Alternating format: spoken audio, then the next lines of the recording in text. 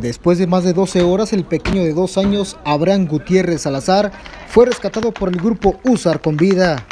El hecho se registró en la comunidad de Buenos Aires, perteneciente al municipio de Pénjamo, Guanajuato.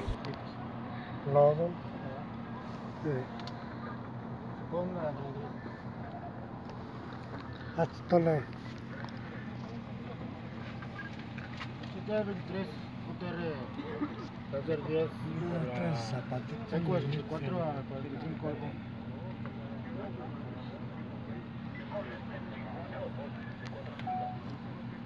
Seis, cuatro.